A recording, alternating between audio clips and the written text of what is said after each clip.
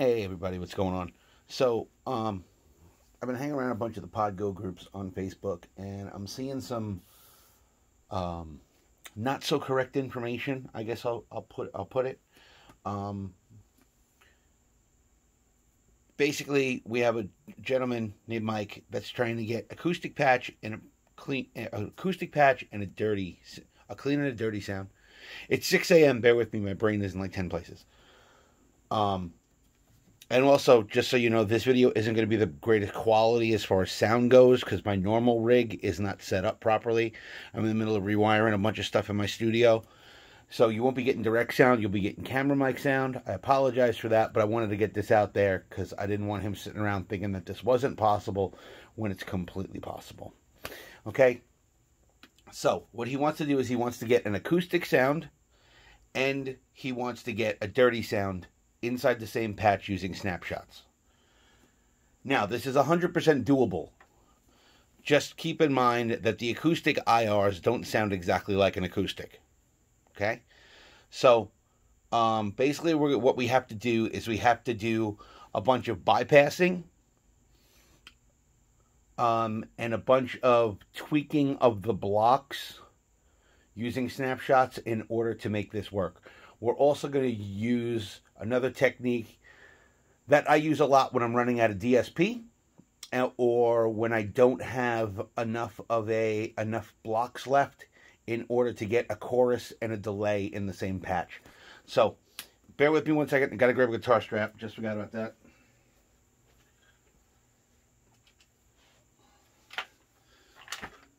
I said the hell with it, and I just grabbed another guitar. So, there's going to be some crazy camera work in this in order to, for you guys to be able to see everything. And again, I apologize about that, but my normal rig isn't set up. So, we're going to start with a new preset, okay? So, I have a brand new preset that I just called up. Um, can I zoom in on the screen to do that? We're going to attempt this. It's probably the best it's going to get for the moment. Just so you can read what's going on, okay? So we have a brand new preset. We're going to go into edit mode, press the home button, okay? And we're going to add a couple blocks. So we're going to come over here. I'm also trying to work around the tripod here. So if you see the camera move, I bumped it. Sorry. So the first thing we're going to do is I'm going to go in and I'm going to add a compressor and I'm going to do LA Studio Comp because it's my favorite compressor. Next thing we're going to do is we're going to go in, we're going to add a distortion. We're going to add an overdrive, and I'm going to go with the Heir Apparent because it's probably the most versatile one in here. Next thing we're going to do is we're going to switch this block over to impulse responses. We're going to take the EQ and we're going to move it just before the amp. We're going to take this block and we're going to make this a delay with modulation, mod chorus echo. Okay, then we're going to take this block and we're going to make it a reverb because these are pretty much what they use. I'm going to use a hole on that. Okay? So this is what it sounds like with everything on. Crazy, blah, blah, blah, whatever it is. But, so, as you can see, we are in snapshot A. Okay, I'm also in snapshot mode, so keep that in mind. So the first thing we're going to do is we're going to set up the acoustic sound, okay? So I'm going to bypass, for, I'm going to leave the verb on. I'm going to leave the delay on. I'm going to go into here and I'm going to select my acoustic IR that I have in here somewhere. What number is it? 75. I have a Taylor acoustic IR. There it is. Okay. Then I'm going to go over here and I'm going to bypass the amp. I'm going to turn on the EQ.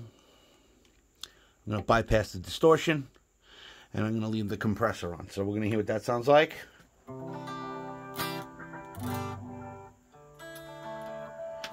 I could probably use a lot less delay. So we're going to leave the feedback where it is. I'm going to set my time so I can tap tempo.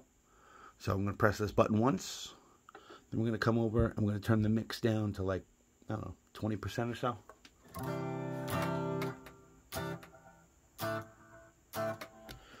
The other thing I'm going to do is I'm going to page over once on the delay and I'm going to turn the scale to 100% so we just get straight delay. All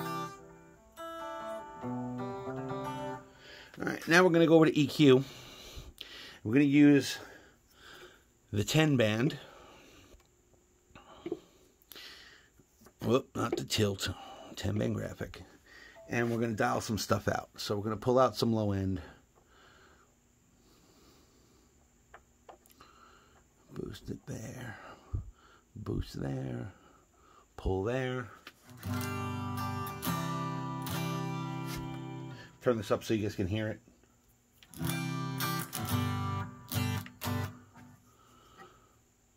I'm going to go over into the page. We're going to give it some 1K. We're going to give it a little bit of 2K, a little bit of 2K. We're going to give it a little less 4K because that gets hunky. And we're going to turn, we're going to bring the 8 up for pick attack, and we're going to bring the 16 up a little bit for a little bit of air.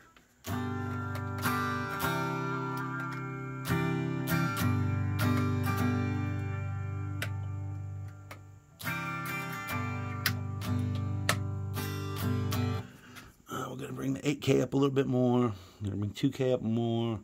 116 because I want a real spank on the top.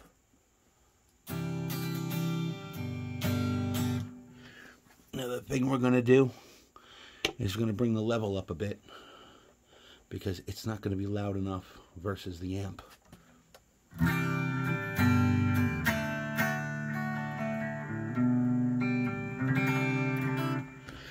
Eh, still not happy with the way that EQ sounds. I'm going to pull a little bit more low end, get rid of 120. Actually, I'm going to pull it a little more at 250 and give it more 125.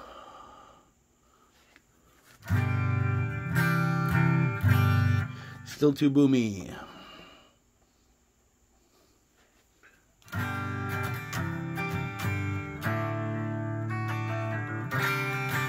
It's getting better. A little bit better. Let's go see what our compressor is set at.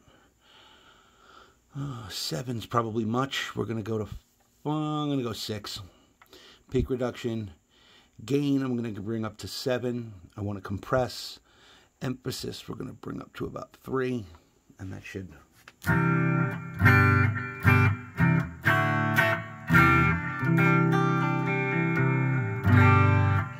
That's good. Go back to the EQ and bring that level back down. Set that to zero.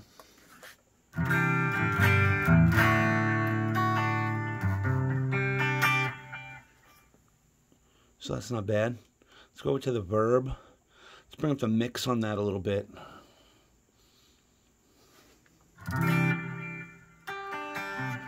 Probably too much at that point.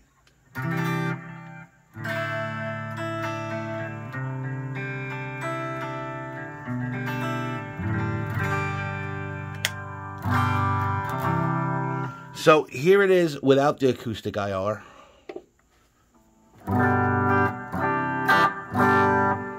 Here it is with.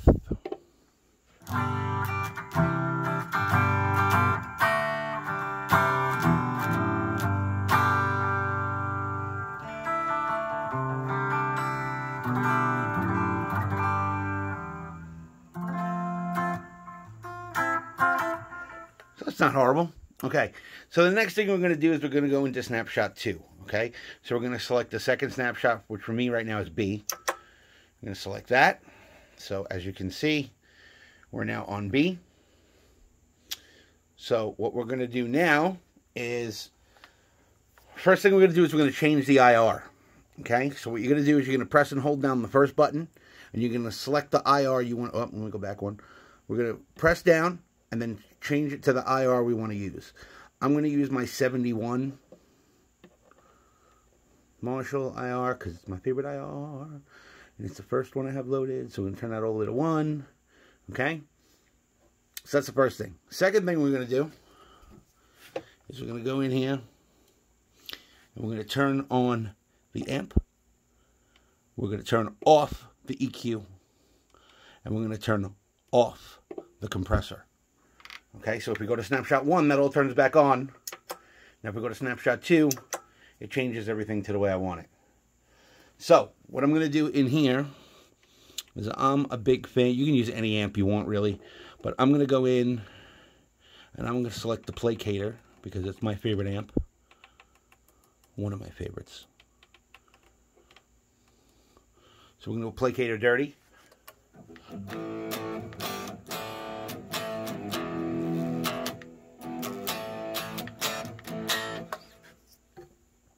And I'm going to bypass the I'm going to bypass the verb. So we just have to Placater straight up. So the first thing I'm going to do is I'm going to come in here and I'm going to turn up the master.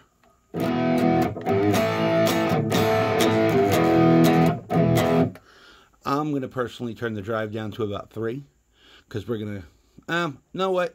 We're going to do this a little bit differently. I'm going to add a lead tone to this too.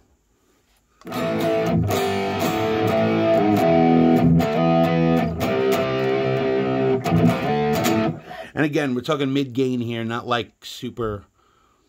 So we're going to scoop the mids just a little bit. We're going to bring up the treble. The other thing I'm going to do is I'm going to turn the fat off. I'm going to turn the HBE on. I'm going to turn to C45 on. I'm going to turn the saturation on because I'm a big fan. So maybe we will go a little bit of high gain. That's fine. Um, bring the channel volume up a little bit more.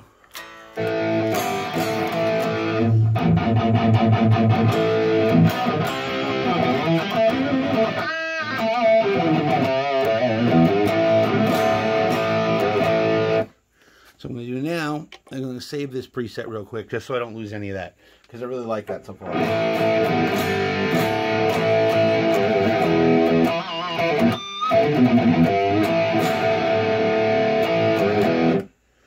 To the acoustic.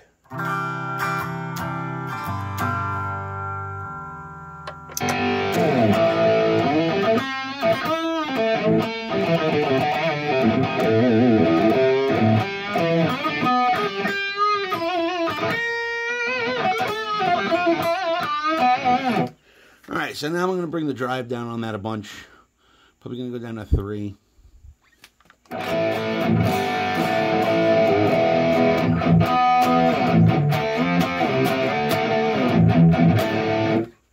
Other thing I'm going to do is I'm going to pull some of that bass out again. And I'm going to boost some of that treble because I want a little more, I want a little more clarity.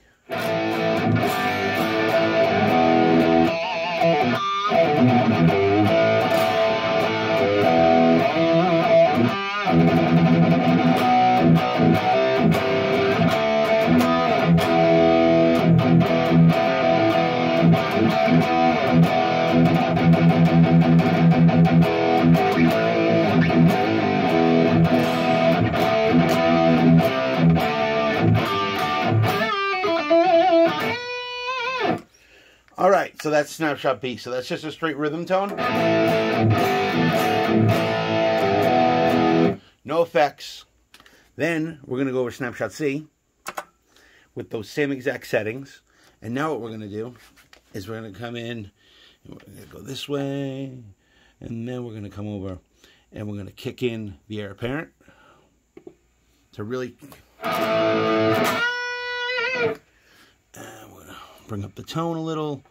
We're going to bring up the presence. A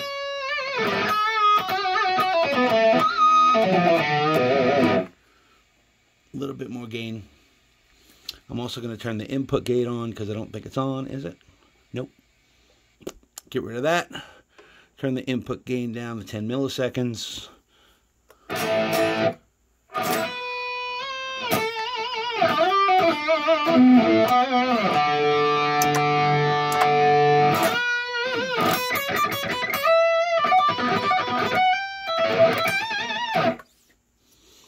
We'll start with that. Okay. Now we're going to go over to the delay. Okay, so this is kind of a cool trick that I use all the time when I don't have enough blocks and I want to have a chorus and on top of that I want to have a delay. So when you run out of blocks, like I'm out of blocks right now, I can't put anything else in. If I would just have a delay block here, I couldn't have chorus. If I just had a chorus block here, I couldn't have delay. So by using the mod delay echo, you can have a delay and a chorus in your tone. And I'll show you how you go about doing that. So to turn that on. So right now there's chorus on this. You can hear the modulation on the delay.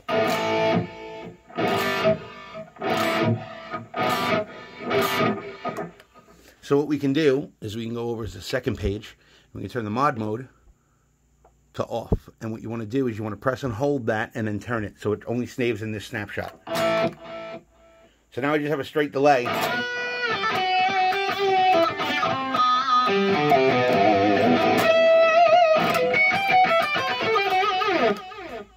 Without modulation on. The other thing I'm going to do is I'm going to go in to the main one and yeah that's actually a good mix I think. We may go into the acoustic patch and change up some other stuff.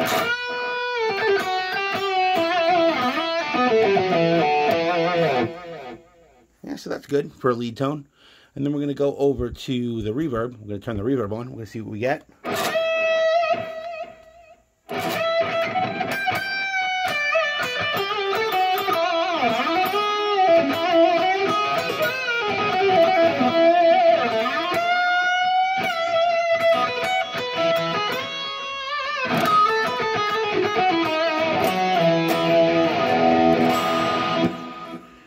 pretty good for lead tone. Okay, so let's go back to the acoustic tone let's tweak these um, a little bit more. So I'm going to go back to A, back to my clean patch.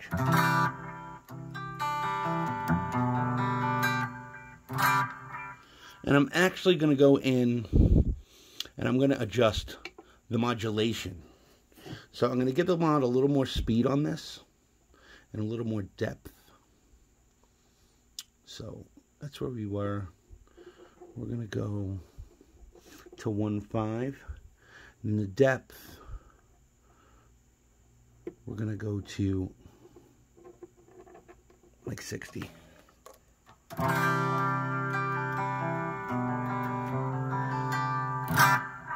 The other thing I'm going to do is I'm going to go in and I'm going to edit the mix.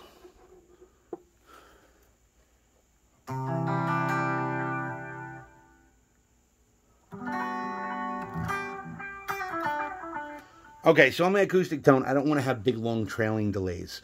So I'm going to turn my feedback all the way down to zero. And I'm going to set my time to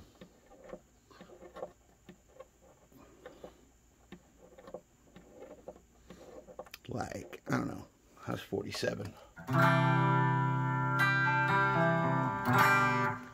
That's still a little much in my opinion. I'm going to go down to like 10 milliseconds.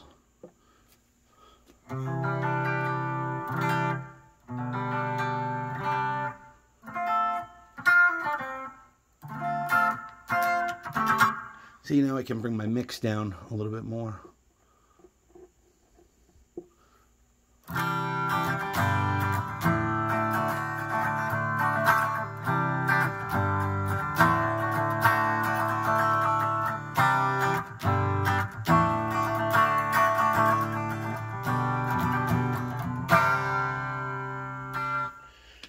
Patch B.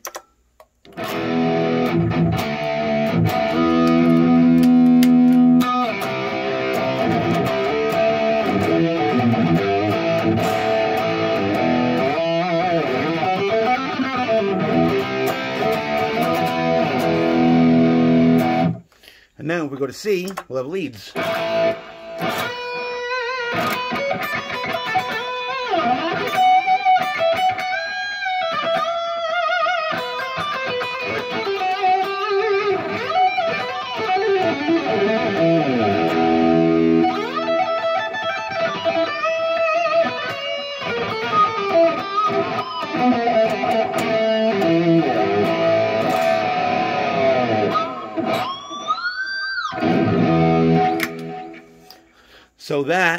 Is how you would go about setting up a clean, dirty, and a lead using snapshots in a single preset.